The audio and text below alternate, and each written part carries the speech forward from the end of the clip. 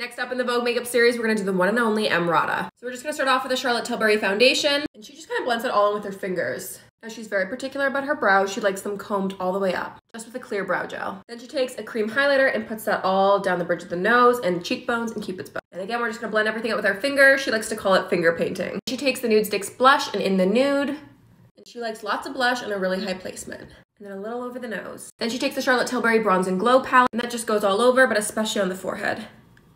Now we're gonna go in with some concealer.